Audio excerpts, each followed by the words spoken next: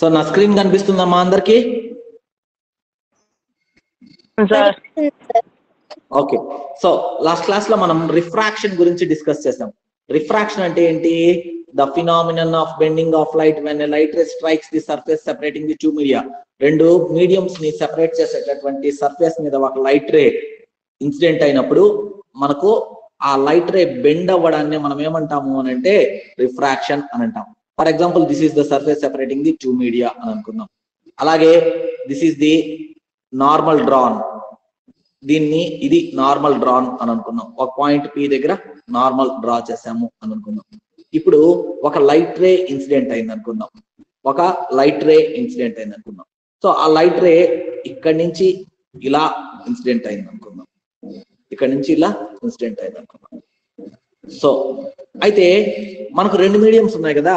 ఇది first medium ఇది second medium దీని యొక్క రిఫ్రాక్టివ్ ఇండెక్స్ ఎన్ వన్ అనుకుందాం దీని యొక్క రిఫ్రాక్టివ్ ఇండెక్స్ ఎన్ టూ అని అనుకుందాం. ఈ సెకండ్ మీడియం యొక్క ఇక్కడ నేను మీకు ఇంకొక మాట ఏం చెప్పాలి అంటే ఏ మీడియం యొక్క రిఫ్రాక్టివ్ ఇండెక్స్ ఎక్కువగా ఉంటుందో దాన్ని డెన్సర్ మీడియం అని అంటాము. ఏ మీడియం యొక్క రిఫ్రాక్టివ్ ఇండెక్స్ తక్కువగా ఉంటుందో అది రేరర్ మీడియం అంటాము అని కూడా నేను ఆల్రెడీ చెప్పాను. సో ఏ మీడియం యొక్క రిఫ్రాక్టివ్ ఇండెక్స్ ఎక్కువగా ఉంటుందో దాని అది డెన్సర్ మీడియం అవుతుంది. దేని యొక్క రిఫ్రాక్టివ్ ఇండెక్స్ తక్కువగా ఉంటుందో అది రేరర్ మీడియం అవుతుంది. సపోజ్ ఇక్కడ N two greater than N one అని అనుకుందాం. అంటే refractive index of the second medium is greater than the refractive index of the first medium అని అనుకుందాం. సో మనకు ఇది ఏమవుతుంది అని అంటే ఆటోమేటిక్గా డెన్సర్ మీడియం అవుతుంది. ఇదేమవుతుంది అని అంటే రేరర్ మీడియం అవుతుంది. ఇది డెన్సర్ మీడియం అవుతుంది ఇది రేరర్ మీడియం అవుతుంది. When a light ray strikes the when a light ray strikes the surface separating the two media refraction will occur. అంటే బెండింగ్ విల్ అక్కర్ అయితే మనకు ఈ పర్టికులర్ కేసులో మనకు లైట్ రే అనేది ఎటు బెండ్ అవుతుంది? యాక్చువల్గా అయితే ఏ సర్ సర్ఫ్ వేరే సర్ఫేస్ కానీ లేకపోతే ఇలా స్ట్రైట్గా వెళ్ళేది? కానీ మనకు రిఫ్రాక్షన్ జరగడం వలన ఈ విధంగా టువర్డ్స్ ద నార్మల్ బెండ్ అవుతుందా? లేకపోతే away from the normal bend అవుతుందా? ఎవరైనా చెప్పాలి point when a light ray strikes the surface away from the normal ఎందుకు అని అంటే నేను ఆల్రెడీ మీకు ఏమని చెప్పాను అంటే when a light ray travel from denser medium to the rarer medium denser medium rarer మీడియంకి వెళ్ళినప్పుడు మనకు ఆ లైట్ రే అనేది మామూలుగా అయితే స్ట్రైట్గా వెళ్ళాలి కానీ రిఫ్రాక్షన్ జరగడం వలన బెండ్ అవుతుంది. ఆ బెండింగ్ అనేది ఏ డైరెక్షన్లో జరుగుతుంది అంటే away from the normal away from the normal జరుగుతుంది. అవే ఫ్రమ్ ది నార్మల్ ఈ విధంగా అవే ఫ్రమ్ ది నార్మల్ జరుగుతుంది. సో ఈ విధంగా మనకు angle made by the incident ray with the normal at the point of incidence ఇది angle of incidence మనకు away from the normal bend అయింది కాబట్టి ఈ విధంగా away from the normal bend అవుతుంది. So ఇదేమవుతుందంటే angle of refraction angle made by the incident ray with the normal drawn at the point of incidence is called angle of incidence ఇది angle made by the refracted ray with the normal drawn at the point of refraction refraction జరిగిన దగ్గర draw చేసిన normal తోటి మనకు refracted ray చేసే యాంగిల్ని మనం ఏమంటాం అంటే యాంగిల్ ఆఫ్ రిఫ్రాక్షన్ అని అంటాం. యాంగిల్ ఆఫ్ రిఫ్రాక్షన్ అని అంటాం అనమాట ఓకే సో ఇది సో డెన్సర్ మీడియం నుంచి రేరర్ మీడియం పోతే లైట్ రే అవతలకి అవే మూవ్ అవుతుంది. ఇప్పుడు సపోజ్ బాగా ఇక్కడి నుంచి జాగ్రత్త వినాలి. యాంగిల్ ఆఫ్ ఇన్సిడెన్స్ ఇంక్రీజ్ అయింది అనుకుందాం. యాంగిల్ ఆఫ్ ఇన్సిడెన్స్ ఇందాకట్లాగా కాకుండా ఇంక్రీజ్ అయింది అనుకుందాం. సో ఇది angle of incidence I one ఇందాక. మనకు angle of refraction R one వచ్చింది. ఇప్పుడు యాంగిల్ ఆఫ్ ఇన్సిడెన్స్ ఇంక్రీజ్ అయింది. ఇప్పుడు యాంగిల్ ఆఫ్ ఇన్సిడెన్స్ వచ్చేసి ఐ టూ ఐ టూ అనుకున్నాం. అప్పుడు యాంగిల్ ఆఫ్ రిఫ్రాక్షన్ కూడా ఏమవుతుందంటే పెరుగుతుంది. ఎందుకంటే sine I by sine R value ఎప్పుడు కాన్స్టెంట్ కాబట్టి యాంగిల్ ఆఫ్ రిఫ్రాక్షన్ కూడా మనకి ఏమవుతుంది అని అంటే ఇంక్రీజ్ అవుతుంది. సో మనకు ఆ ఇక్కడ యాంగిల్ ఆఫ్ ఇన్సిడెన్స్ మారింది కాబట్టి యాంగిల్ ఆఫ్ రిఫ్రాక్షన్ కూడా మారుతుంది. అదేమవుతుంది అంటే యాంగిల్ ఆఫ్ ఇన్సిడెన్స్ పెరిగింది కాబట్టి యాంగిల్ ఆఫ్ రిఫ్రాక్షన్ కూడా పెరిగింది. మనము ఇలానే యాంగిల్ ఆఫ్ ఇన్సిడెన్స్ని పెంచుకుంటూ పోతే ఒక పర్టికులర్ యాంగిల్ ఆఫ్ ఇన్సిడెన్స్ అప్పుడు ఒక పర్టికులర్ యాంగిల్ ఆఫ్ ఇన్సిడెన్స్ అప్పుడు రిఫ్రాక్టెడ్ రే వచ్చేసి it passes through the surface separating the two media refracted ray passes through the surface separating the two media మనకు ఇక్కడ నేను ఏమని చెప్పానంటే చాలా simple point angle of incidence పెంచుతూ పోతే యాంగిల్ ఆఫ్ రిఫ్రాక్షన్ కూడా పెరుగుతూ పోతుంది అని చెప్పాను.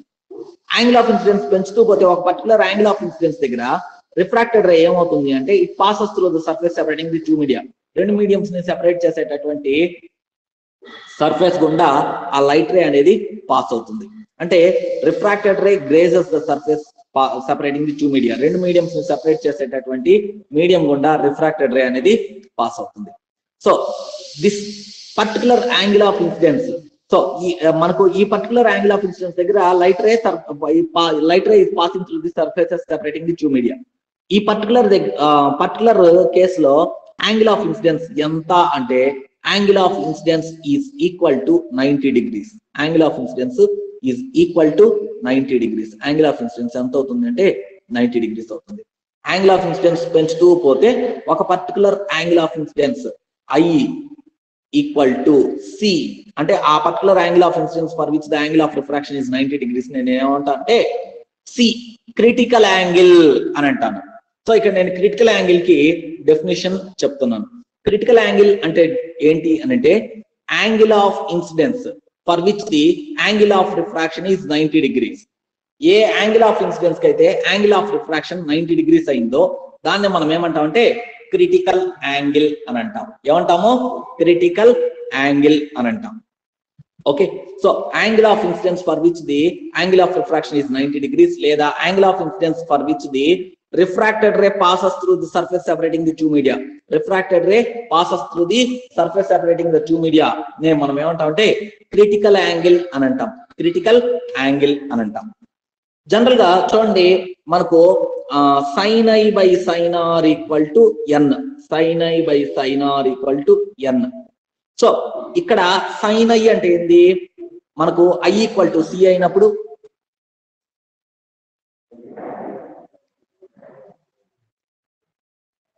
సో ఇక్కడ మనకు నేను ఇంకొక ఇప్పుడు క్లియర్గా ఇక్కడ ఒక డ్రా చేస్తున్నాను చూడండి.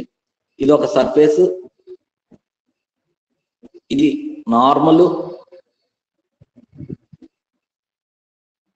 ఇది ఒక light ray.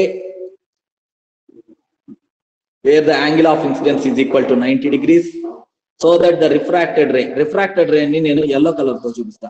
Just separation so that the refracted ray pass angle of refraction is ninety degrees angle of incidence I equal to C అయినప్పుడు యాంగిల్ ఆఫ్ రిఫ్రాక్షన్ వచ్చేసి ఎంత అంటే నైంటీ డిగ్రీస్. ఇది జనరల్గా మనకు ఫార్ములా ఏంటి అంటే స్నెల్స్ లా ఏంటి అంటే sine I by sine R equal to N లేదా ఎన్ టూ వన్ అంటే ఎన్ టూ వన్ ఎన్ ఈ లేదా N two divide by N one ఇక్కడ ఎన్ టూ అనేది ఏంటంటే ఏ మీడియం లోకి అయితే రిఫ్రాక్షన్ జరుగుతుందో ఎన్ వన్ అనేది ఏంది అంటే ఏ మీడియం లో అయితే లైట్ ఇన్సిడెంట్ అయింది అనేది. ఓకే సో నేను ఇక్కడ refractive index of the rarer medium ని ఎన్ వన్గా తీసుకున్నాను. Refractive index of the denser medium ని ఎన్ టూ గా తీసుకున్నాను. Okay so N one N two గా తీసుకున్నాను. సో ఇక్కడ స్నెల్స్ లా అప్లై చేస్తే సైన్ ఐ అంటే ఐ వాల్యూ సి కాబట్టి sine C divide by sine R sine R అంటే sine ninety equal to N two అంటే refractive index of the medium in which the refraction refracted ray is passing జనరల్గా మనకు అవతల ఉండే medium వచ్చేసి అవతల medium యొక్క రిఫ్రాక్టివ్ ఇండెక్స్ ఎంత అంటే N one divide by refractive index of the medium in which light is incident so ఇది ఇది ఎంత దీని వాల్యూ ఎంత అంటే ఎన్ టూ ఓకే దీని నుంచి sine C sine ninety value ఎంత అంటే వన్ మీరు ఇట్లా అట్లా గుర్తుపెట్టుకోండి. మీరు మ్యాథ్స్లో ట్రిగ్నోమెట్రీలో నేర్చుకుంటారు. Sine ninety degrees value one అని నేర్చుకుంటారు.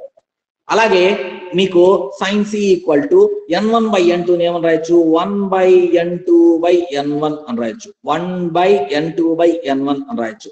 లేదా sine C equal to one by N sine C equal to one by N అని రాయొచ్చు. సో దీన్ని this is the relation between critical angle and refractive index critical angle and refractive ఇండెక్స్కి values critical angle and refractive ఇండెక్స్కి మధ్య relation sine C is equal to one by N sine C is equal to one by N అనేది relation between critical angle and refractive index okay so ఇక్కడ వరకు అర్థమైందా? అర్థమైతే one అని type చేయండి అర్థం కాకపోతే టూ అని టైప్ చేయండి. అనురాధ అర్థమైందమ్మా?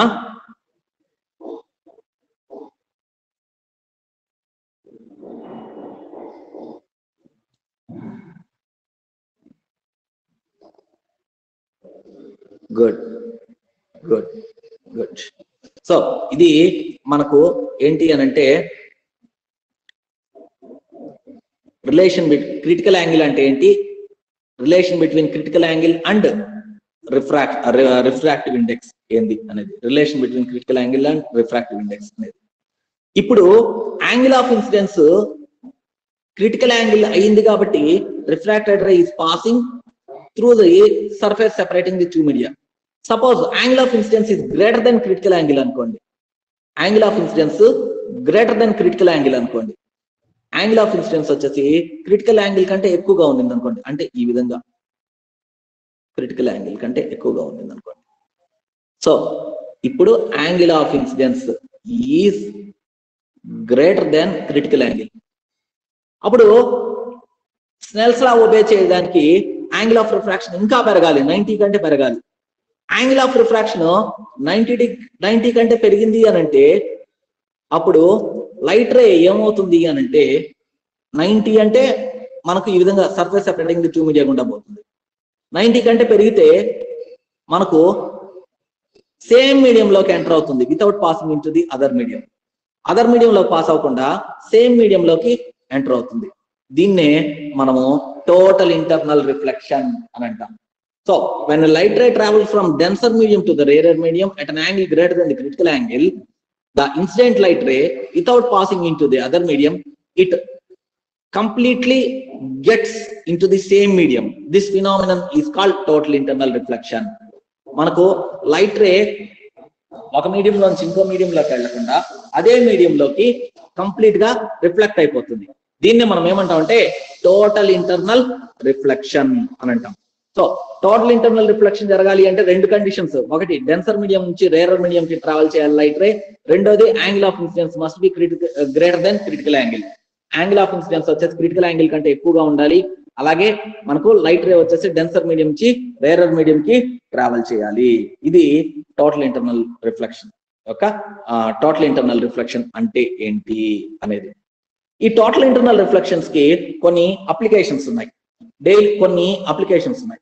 Will discuss what are those applications of total internal reflection ఈ applications of total internal reflection అనేది చాలా చాలా ఇంపార్టెంట్ ఎగ్జామ్ పాయింట్ ఆఫ్ వ్యూలో సో టోటల్ ఇంటర్నల్ రిఫ్లెక్షన్ యొక్క అప్లికేషన్స్ గురించి డిస్కస్ చేద్దాం. మనం మూడు అప్లికేషన్స్ గురించి డిస్కస్ చేస్తాం. ఫస్ట్ ఏంటి అంటే shining of the diamonds shining of diamonds diamonds ఎందుకు షైన్ అవుతాయి? డైమండ్స్ ఎందుకు షైన్ అవుతాయి? అనేది చూద్దాం. వాయిస్ క్లియర్గా ఉందా నాది? ఓకే. సో డైమండ్స్ ఎందుకు అంటే పైన కాస్త వర్క్ జరుగుతుంది కాబట్టి కాస్త డిస్టర్బెన్స్ ఉండొచ్చు. ఏదైనా కొట్టడము అలాంటి కట్ చేయడము ఆ మెషిన్ శబ్దం శబ్దాలు రావచ్చు. కానీ వాయిస్ క్లియర్గా ఉంది కదా? Shining of the diamonds so diamonds మిగతా వస్తువుల కంటే డైమండ్స్ చాలా మెరుస్తాయి. అందుకే మనకు ఒక చిన్న డైమండ్ ర్యాంక్ రింగ్ కూడా మనకు ఫ్యూ ల్యాక్స్ అంటే more the around two lakhs ఉంటుంది. ఖచ్చితంగా చిన్న రింగ్ అయినా కానీ లక్ష పైన ఉంటుంది. ఈ డైమండ్స్ మాత్రమే ఎందుకు అంతగా మెరుస్తాయి అని అంటే simple. The surface of the diamonds were cut such that ఈ డైమండ్స్ యొక్క సర్ఫేసెస్ ఎలా కట్ చేస్తారు స్పెషల్గా కట్ చేస్తుంటారు అనమాట ఎలా కట్ చేస్తుంటారు అనంటే such that the light reflected into the light once entered into the medium. Sorry diamond. అలా ఒక లైట్ రే లోప ఒకసారి లోపల కానీ వచ్చిందనుకో ఆ లైట్ రే మనకు ఆ డైమండ్ లోపల డైమండ్ లోపల ఎట్లా అంటే ఆ డైమండ్స్ యొక్క సర్ఫేస్ని ఎలా కట్ చేస్తారు అంటే మనకు ఒక్కసారి లైట్ రే కానీ లోపలికి ఎంటర్ అయింది అని అంటే it will completely undergo reflection మనకు number of times total internal reflection జరుగుతుంది అనమాట సో బయటకు వెళ్ళే లోపు ఆ లైట్ రే బయటకు వెళ్ళే లోపు చాలా సార్లు ఇన్ టోటల్ ఇంటర్నల్ రిఫ్లెక్షన్ జరుగుతుంది అనమాట కాబట్టి మనకు ఒక్క లైట్ రే డైమండ్ లోపలికి వస్తే చాలా ఎక్కువ సేపు చాలా ఎక్కువ సార్లు మనకు ఏమవుతుంది అని అంటే ఆ రిఫ్లెక్షన్ జరుగుతుంది కాబట్టి మనకు there will be shining of the diamonds diamonds అనేవి షైన్ అవుతూ ఉంటాయి అన్నమాట. So the main reason behind the shining of the diamonds is shining of the diamonds is due to total internal reflection of the light rays entered into the diamonds. Diamonds, the surfaces of the diamonds were cut. ఆ diamonds యొక్క సర్ఫేసెస్ని ఎలా cut చేశారు అంటే such that the light ray once enters into the diamonds it will undergo total internal reflection number of before they before it escapes from the diamond diamond లోంచి ఆ light ray బయటకు వచ్చే లోపల అది నంబర్ ఆఫ్ టైమ్స్ రిఫ్లెక్ట్ అవ్వడం వలన. Next second one వచ్చేసి ఏంటి అంటే optical fibre so gas trouble ఎక్కువగా ఉన్నప్పుడు ఎవరికైనా గ్యాస్ ట్రబుల్ చాలా ఎక్కువగా ఉంది అని అనిపిస్తే గ్యాస్ ట్రబుల్ చాలా ఎక్కువగా ఉంది అని అనిపిస్తే గ్యాస్ట్రోఎంట్రాలజిస్ట్కి గ్యాస్ట్రోఎంట్రాలజిస్ట్ కాడికి వెళ్ళామంటే వాళ్ళు ఏం చేస్తారు అని అంటే వాళ్ళు వాళ్ళు ఒక పైపు లోపలికి పంపిస్తారు. మనిషి యొక్క లోపలికి పైపుని పంపిస్తారు. పైపుని పంపించి వాళ్ళు మనకు ఆ, లోపల ఆ స్టమక్ లోపల ఏం పేగుల లోపల ఎలా ఉంది? స్ట్రక్చర్ ఏమైనా పుండుబడి ఉందా? లేకపోతే ఏమైనా ఎర్రగా ఉందా? ఆ, ఇలా చూస్తారనమాట సో ఆ ఆ టెక్నిక్ నే మనం ఎండోస్కోపీ టెక్నిక్ అని అంటాం. సో దాంట్లో వాళ్ళు యూ లోపలికి పంపించే వాటిని ఏమంటాం అంటే ఆప్టికల్ ఫైబర్స్ అని అంటాం. ఏమంటామో? Optical fibres. ఈ ఆప్టికల్ ఫైబర్స్ కూడా ఈ టోటల్ ఇంటర్నల్ రిఫ్లెక్షన్ ఫినామినన్ని బేస్ చేసుకునే పనిచేస్తాయి. ఈ ఆప్టికల్ ఫైబర్స్లో ఏముంటుంది అని అంటే ఆప్టికల్ ఫైబర్స్ ఆప్టికల్ ఫైబర్స్లో త్రీ కోయాక్సియల్ సిలిండర్స్ ఉంటాయి. ఆప్టికల్ ఫైబర్స్లో మెయిన్గా ఉండేది ఏంటి అంటే త్రీ కోయాక్సియల్ సిలిండర్స్ ఇది ఒక సిలిండర్ తర్వాత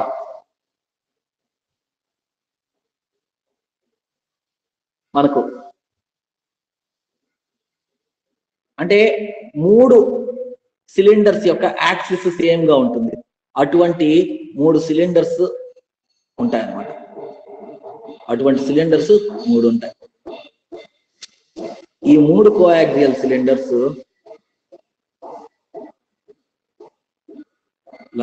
ఉంటాయి. సో ఈ అవుటర్ పార్ట్ని మనం ఏమంటాం? లోపల ఉండేదాన్ని మనం ఏమంటాం అంటే కోర్ అని అంటాం. ఇన్నర్ మోస్ట్ సిలిండర్ని మనం ఏమంటాం అంటే కోర్ అని అంటాం. ఈ కోర్ చుట్టూ ఉండేదాన్ని ఏమంటాం అంటే క్లాడింగ్ అని అంటాం. కోర్ చుట్టూ ఉండేదాన్ని ఏమంటాం అంటే cladding C A C L A D D I N G cladding అని అంటాం. ఓకే నెక్స్ట్ ఈ మూడో దాన్ని థర్డ్ లేయర్ని మనం ఏమంటాం అంటే కోటింగ్ అని అంటాం. సో మనకు ఈ ఆప్టికల్ ఫైబర్స్ని టెలికమ్యూనికేషన్స్లో వాడతారు. అలాగే మెడిసిన్లో గ్యాస్ ఎండోస్కోపీ టెక్నిక్ యూజ్ చేసేదానికి కనుక్కుంటారు. సో ఈ ఆప్టికల్ ఫైబర్స్లో మూడు కోయాక్సియల్ సిలిండర్స్ ఉంటాయి. అంటే యాక్సిస్ సేమ్గా ఉండేటటువంటి సిలిండర్స్ మూడు ఉంటాయి అన్నమాట ఫస్ట్ దాన్ని మనం ఏమంటాం అంటాం సో ఇన్నర్ మోస్ట్ సిలిండర్ని మనం ఏమంటాం అంటే కోర్ అని అంటాం. కోర్ చుట్టూరు ఉండేదాన్ని క్లాడింగ్ అని అంటాం.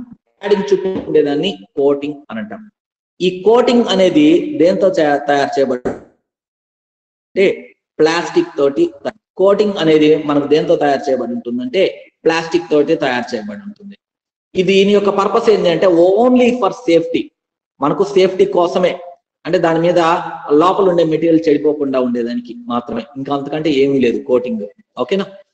కానీ ఆ core and cladding. Core and cladding మెటీరియల్స్ని మనం ఎలా సెలెక్ట్ చేసుకుంటాం అంటే such that the refractive index of the cladding is less than the refractive index of the core ఈ ఆప్టికల్ ఫైబర్ తయారు చేసేటప్పుడు ఆప్టికల్ ఫైబర్ని తయారు చేసేటప్పుడు కోర్ అండ్ క్లాడింగ్ యొక్క రిఫ్రాక్ట్ మెటీరియల్స్ని ఎలా సెలెక్ట్ చేసుకుంటాం అంటే దేన్ని కోర్గా వాడతాం దేన్ని క్లాడింగ్గా వాడతాము అని అంటే such that the refractive index of the cladding is less than the refractive index of the core ఎందుకు అలా జరుగుతుంది అని అంటే ఏ లైట్ రే లైట్ రైన్ అయితే మనము ఆప్టికల్ ఫైబర్ గుండా without loss of energy energy loss లేకుండా మనం ఆప్టికల్ ఫైబర్ గుండా పాస్ చేయాలనుకుంటున్నామో ఆ ఆప్టికల్ ఫైబర్ ఆ లైట్ రే ని మనం ఈ విధంగా కోర్లోకి కోర్ మీదకి కోర్ మీదకి పంపించామనుకోండి. అదేమవుతుంది అని అంటే that will undergo refraction inside the core when and it strikes the and it strikes the surface separating the core and cladding at an angle greater than the critical angle since core is denser medium and cladding is rarer medium it will undergo total internal reflection. Actual మీకు ఇదంతా లేదు కానీ నేను నా interest కొద్దీ నేను చెప్తున్నాను. So అర్థమైతే వినండి లేకపోతే జస్ట్ ఆప్టికల్ ఫైబర్స్ అనేది టోటల్ ఇంటర్నల్ రిఫ్లెక్షన్ యొక్క అప్లికేషన్ అనేది గుర్తుపెట్టుకోండి. సో ఆప్టికల్ ఫైబర్స్ యొక్క ఇంకొక ఆప్టికల్ ఫైబర్స్లో మనము ఏ లైట్ రైన్ అయితే without loss of energy pass చేయాలనుకుంటున్నామో దాన్ని కోర్ గుండా మనం కోనిస్తాం. At an angle of launching angle launching angle అని అంటాం. ఏ యాంగిల్ అయితే మనం ఇన్సిడెంట్ చేస్తామో దాన్ని లాంచింగ్ యాంగిల్ అంటాం. సో ఆ లాంచింగ్ యాంగిల్లో ఇన్సిడెంట్ చేస్తాం. అలా ఇన్సిడెంట్ చేసినప్పుడు ఆ లైట్ రే కోర్ గుండా పాస్ అయ్యి ఏమవుతుంది అంటే టోటల్ ఇంటర్నల్ రిఫ్లెక్షన్ జరుగుతూ పోతుంది. అలా టోటల్ ఇంటర్నల్ రిఫ్లెక్షన్ జరుగుతూ పోయి మనకు ఆ లైట్ రే అనేది వితౌట్ లాస్ ఆఫ్ ఇంటెన్సిటీ మనకు దాని ఎనర్జీలో కానీ దాని ఇంటెన్సిటీలో కానీ ఏ మాత్రం తేడా లేకుండా మనకు కోర్ యొక్క ఒక ఒక సైడ్ ఎంటర్ అయింది. కోర్ యొక్క అవతల ఎండ్ లోంచి బయటకు వస్తుంది. So optical fibre is another example of the total internal reflection application so application of the one of the application of the total internal reflection is shining of the diamonds next one వచ్చేసి ఏంటి అంటే optical fibres okay అర్థమైందా ఇక్కడ దాకా? అర్థమైందమ్మా? అర్థమైంది sir. Next video video చూపించడానికి try చేస్తాను. I don't know signal strength favour చేస్తుందో లేదో. సో ఒకసారి జాగ్రత్తగా చూడండి.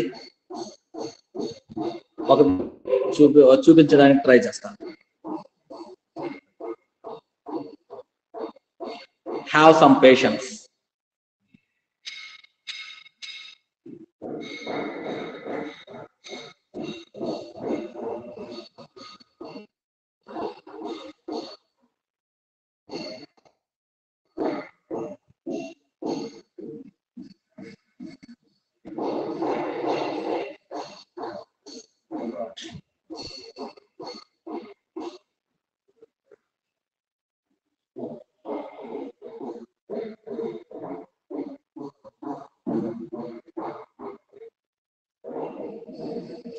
సో నేను ఒక నా ప్రజెంటేషన్లో ఒక వీడియో ఉంది. ఆ వీడియో చూపించడానికి ట్రై చేస్తున్నాను.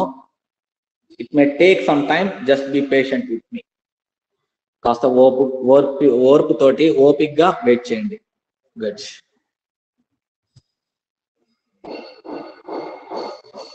మీకు సంబంధించింది కాదండి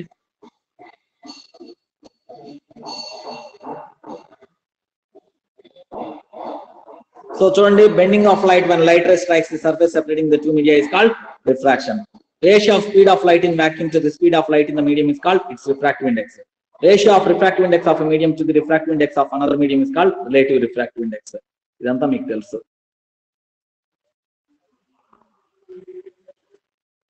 so with the increase of angle of incidence angle of refraction also increases obeying this Snell's law When light ray travels from denser medium to the medium it moves away from the normal అలాగే when angle of incidence is equal to critical angle angle of refraction is ninety degrees and the refracted ray passes along the surface separating the two media so total internal reflection అంటే ఏంటి అనేది నేను మీకు already చెప్పాను.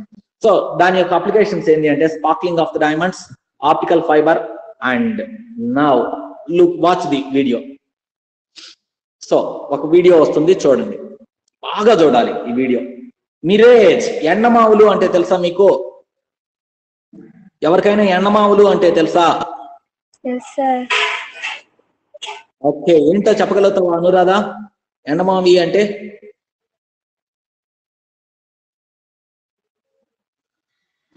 So ఆ ఎండమావి అంటే ఏంది అనేది ఇక్కడ నేను వీడియోలో చూపిస్తున్నాను చూడండి. ఇద్దరు కారులో వెళ్తున్నారు. కారులో వెళ్తూ ఉంటే ఎదురుగా నీళ్ళు ఉన్నట్టున్నాయి కానీ దగ్గరికి పోతా ఉంటే నీళ్ళు లేవు. నీళ్ళు కూడా అవతలకి వెళ్తున్నాయి. అంటే యాక్చువల్గా అక్కడ నీళ్ళు లేవు కానీ నీళ్ళు ఉన్నట్టు అనిపిస్తుంది. విధంగా లేనిది ఉన్నట్టు అనిపించడమే ఎండమావి. దీన్నే ఇంగ్లీష్లో ఎండమావిని మనం ఏమంటాం అంటే మిరేజ్ అని అంటాం. ఈ మిరేజ్ అనేది ఎందుకు ఫామ్ అవుతుంది అనేది ఈ వీడియో అయిపోయిన తర్వాత మీకు చెప్తాను. వీడియోలోనే మీకు కొంత అర్థమవుతుంది. చూడండి. So another application of the total internal reflection is mirage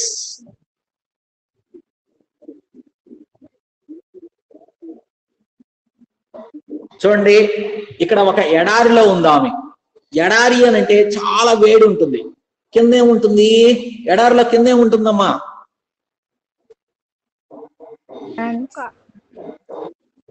ఇసుక ఇసుక ఉంటుంది.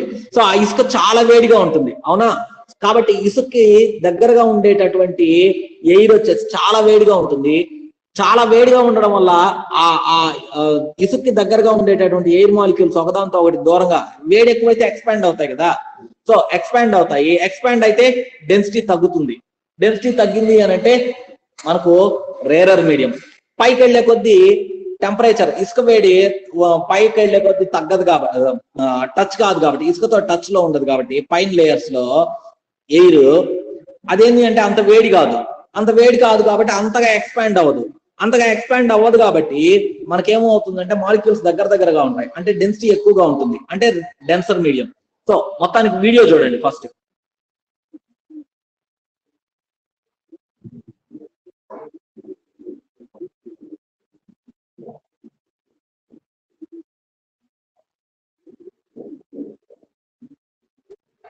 సో ఇక్కడ వరకు అర్థమైందా?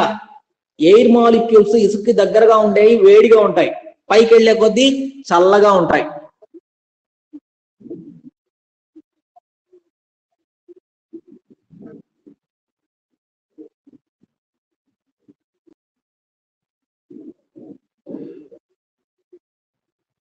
సో కింద ఉండే లేయర్ వేడిగా ఉంటుంది దానివల్ల అది rarer medium.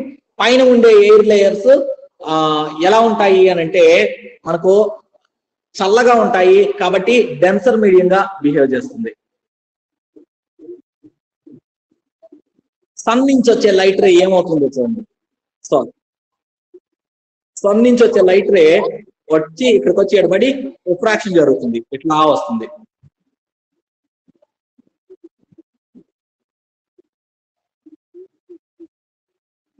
Away from the normal అయింది కాబట్టి ఇలా. మళ్ళా ఇలా. ఇక్కడి నుంచి టోటల్ ఇంటర్నల్ రిఫ్లెక్షన్ జరుగుతుంది.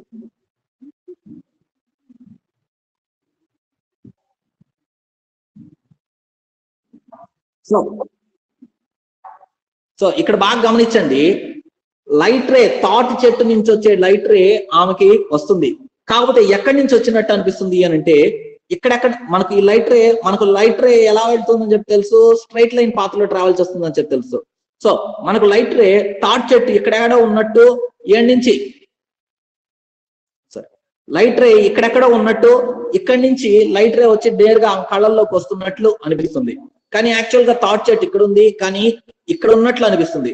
ఇక్కడ ఉండే థాట్ చెట్కి ఇక్కడ ఉన్నట్లు అనిపించడానికి అనిపించడమే మిరేజ్ అన్నమాట. ఇక్కడ నీళ్ళు ఉన్నట్టు ఈ విధంగా అనిపించడమే మిరేజ్ సో మిరేజ్ ఫార్మేషన్కి కూడా కారణం ఎవరు అని అంటే టోటల్ ఇంటర్నల్ రిఫ్లెక్షనే ఓకే సో ఇంకొకసారి ఈ వీడియోని కొద్దిగా పాస్ చేస్తాను పాస్ చేసి చూపిస్తాను. చూడండి మళ్ళా చూడండి.